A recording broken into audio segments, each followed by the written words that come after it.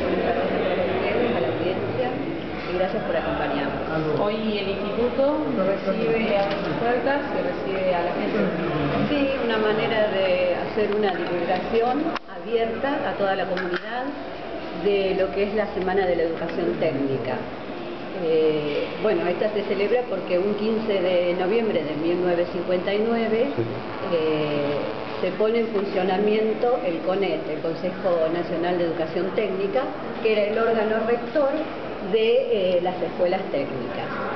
Y ahí Educación Superior decide tomar la iniciativa de celebrar en el mes de noviembre una semana para la educación técnica.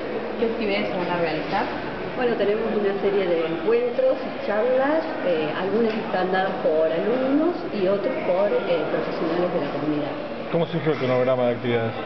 El cronograma fue organizado dentro de la institución y bueno, eh, se tomó martes, miércoles y jueves de esta semana porque bien sabemos que lunes y viernes hemos tenido varios feriados y bueno, justo también los chicos están con parciales y un montón de actividades para el estudio, entonces eh, surgió así.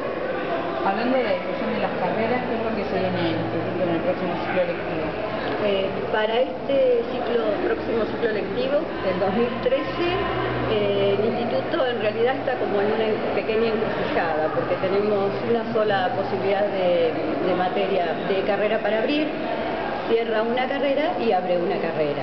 Y estamos pensando, eh, o mejor dicho, ya se decidió en análisis, desarrollo y programación de aplicaciones, o sea, una carrera de informática, que nos ha dado buenos resultados. ¿Las carreras vigentes?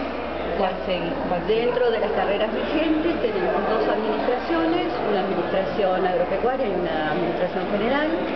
Tenemos un tercer año de industrias agroalimentarias, o sea, siempre manteniendo el perfil del instituto, que es agroalimentario y después tenemos eh, dos sociales que son psicopedagogía y trabajo social.